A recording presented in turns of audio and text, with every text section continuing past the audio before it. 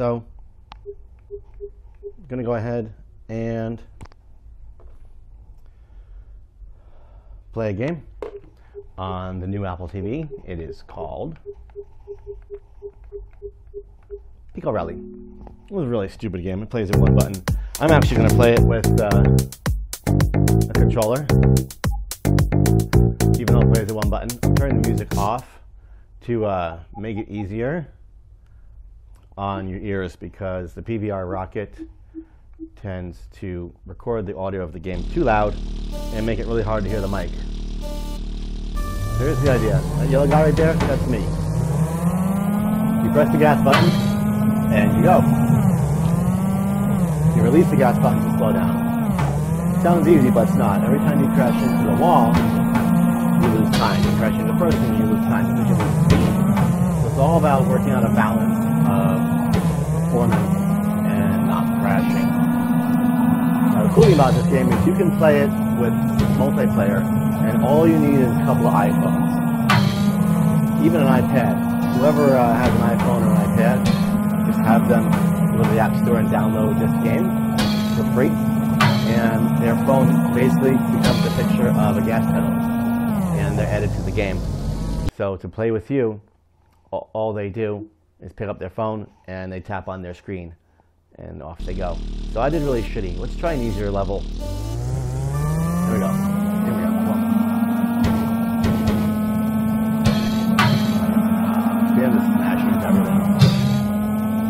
This is a slightly easier track, so I can get away with it a little more. So you see that right there? That's what you want. I'm gonna kind of cruise through those turns. The green bar, I believe, is my previous lap. See, I'm not pinning the gas, and I'm still doing better. And I'm to lose that one. There you go. That's first place right there. Two stars. The green bar might have been the best uh, lap I'd ever done on that particular track. And now it's playing commercial for what looks like Ash vs. the Evil Dead, which is an absolutely fantastic show. And I just skipped it. Let's go ahead and try for a three star. No, let's try for a two star on the baloney track. Goes.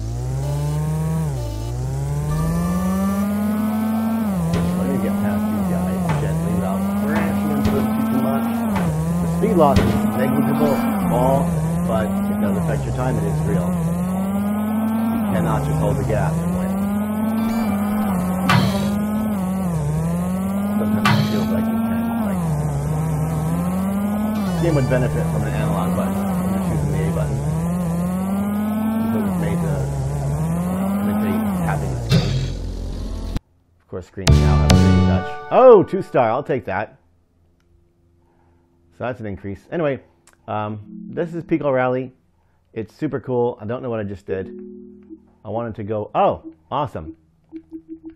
Sorry, I'm using my SteelSeries Nimbus controller. I'm not used to how it works just yet.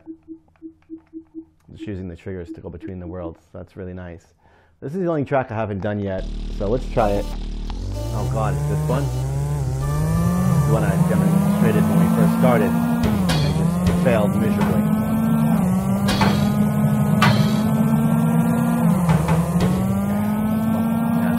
That. Straight away is how you want to pass. Don't even bother on turns. Just take your time. Just those turns with the gas. Happen to get there. There you go. Oh, this is good. This is good. This is good. I'd love to see my running timer of my previous lap. So I'm not asking too much again for a game that's free.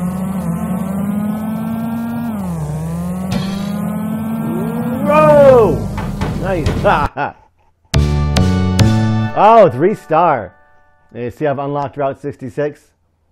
So I've unlocked a new route. It was going to give me an ad again, and it let me skip it right away. That's that's super cool. I'm guessing they're going to pay a dollar or something and not get ads at all, but it hasn't asked me, and it's letting me skip ads, so that's a winner. Anyway, uh, Pico Rally, awesome game.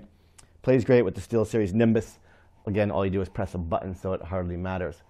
Next time up, we're going to play Agent A, one of my favorite Apple TV games. Later.